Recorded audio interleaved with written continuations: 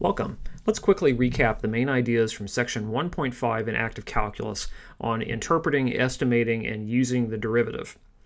Previously, we've defined the derivative of a function f of x to be the function f prime of x that's given by this limit formula. In this section, we're mainly exploring what this function tells us and how it's related to its parent function f of x.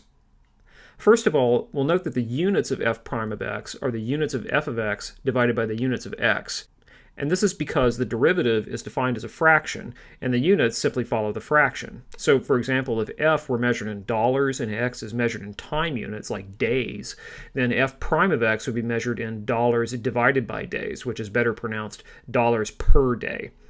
This helps us to understand what a derivative actually tells us in everyday terms. If f represents some function that depends on x, then f prime of x is telling us the rate at which f changes with respect to x. In other words, the rate at which f changes as x changes. This isn't any surprise because we originally thought of the derivative as an instantaneous velocity or as an instantaneous rate of change.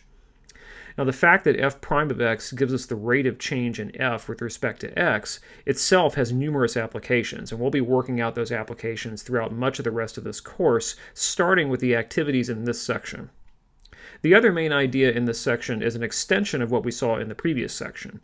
Back then, we saw how to get f prime of x from f of x in two different ways. First, if f is given as a formula, in which case we get f prime of x by setting up the derivative formula that uses a limit, and working through the algebra and then taking a limit. And we also saw how to get a graph of f prime of x if the parent function f is given as a graph. The remaining representation we didn't talk about was what happens if f is given as a set of data. So we learned three ways in this section of finding f prime of a numerically at a given point x equals a if f is given only as a table or collection of data points, and not as a graph and not as a formula. These are all estimation techniques and could include errors, but if we only have a table of data to work with, then estimation errors are simply unavoidable. So the best we can do is try to be as accurate in our estimations as possible. So we can estimate f prime of a using what's called a backwards difference or a forwards difference. Both of these differences involve using this definition of f prime of a, except without the limit.